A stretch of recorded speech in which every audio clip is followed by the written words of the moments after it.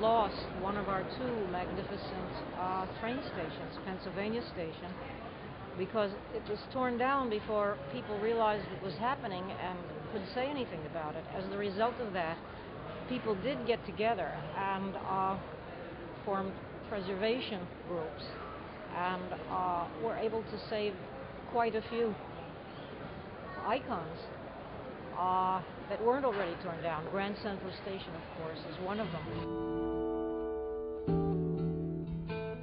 Seen it in the movies, Yeah. seen it in the shows, seen it in David Letterman. Just think, but you want to be there. You want to be in the Yeah. middle of that tourist office with the watch or the clock on top of it.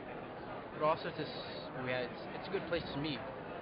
you know, there's a uh, such variables that you can get here from all types of uh, walks of life and uh, of any price range, and it's very nice. From the uh, oyster bar, which is uh, high-end seafood, and uh, to all the other little uh, cash and carry uh, places.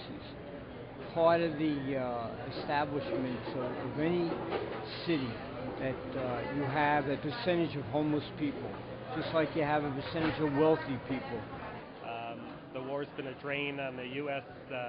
Pocketbook, um, but I think we've enjoyed uh, um, a, a, a great stability, and I think that um, the rest of the world is catching up very quickly.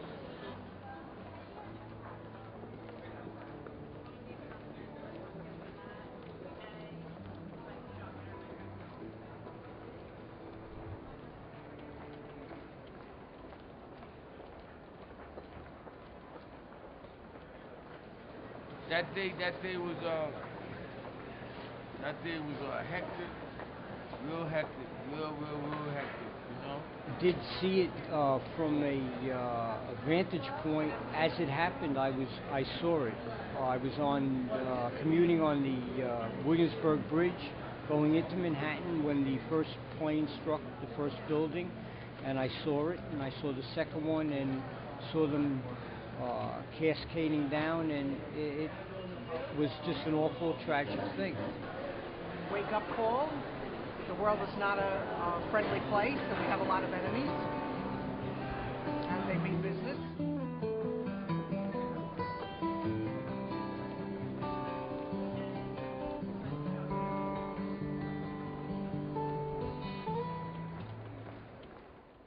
Time marches on, the world changes, and I'm sure the station changes, but I think the basic plan uh, is to keep it pretty much as it is now. Now, I can't tell you what will happen in the future, and I have no way of knowing how well it'll be kept up. And uh, of course, individual stores or restaurants or whatever open and close and open and close. I've seen it happen in the last few years. But, and of course, technology changes, trains change. But as of now, this is the restoration.